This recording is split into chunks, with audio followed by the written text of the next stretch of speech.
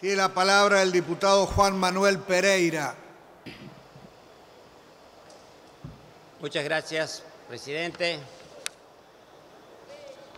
En toda mi vida política consideré que el presupuesto era una herramienta de gestión del Poder Ejecutivo y como tal había que ayudar a sancionarlo. Sin embargo, por primera vez tengo la convicción contraria de aprobarse este presupuesto, estaríamos condenando al hambre y a la miseria de millones de compatriotas. No podemos aprobar un presupuesto nacional que recorta los fondos en la educación, salud, ciencia y tecnología, cultura, obra pública, que condene a los municipios a no poder gestionar y que les vuelva a transferir a las provincias responsabilidades que harán más desigual la distribución de la renta. No podemos avalar un presupuesto que solo aumenta los servicios de la deuda y que plantea en el mejor de los casos un nuevo retroceso del Producto Bruto Interno, endeudamiento asombroso, eso es entregar la soberanía económica.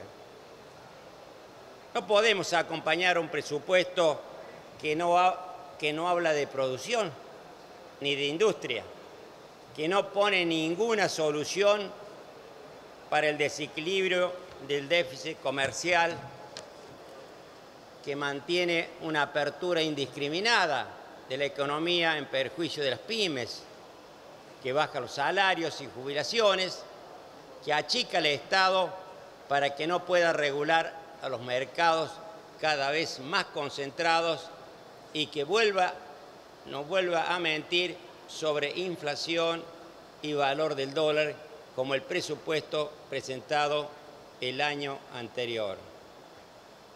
Eh, todos estos problemas, el tratamiento de este presupuesto en esta jornada, es justamente es el problema que acarrea el endeudamiento de estos dos años.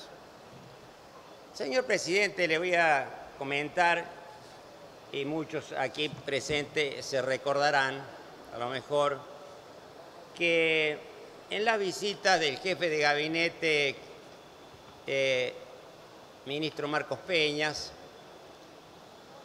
en el 23 de marzo del 2017, y también lo repetí en el 26 de mayo del 2018, mi preocupación por el endeudamiento. Siempre me contestó que era un proyecto para bajar el déficit, para bajar el déficit fiscal. Y las consecuencias, las consecuencias están a la vista. Las consecuencias las estamos padeciendo. Señor presidente, sin desarrollo, como decimos, sin industria, sin salarios, sin jubilación y sin educación, sin salud, ni ciencia, ni tecnología, no hay futuro. Desde Forja no vamos a hipotecar las ilusiones, las posibilidades de transformar la realidad para mejorar las condiciones de vida de nuestros compatriotas. Muchas gracias, señor presidente. Muchas gracias, señor diputado.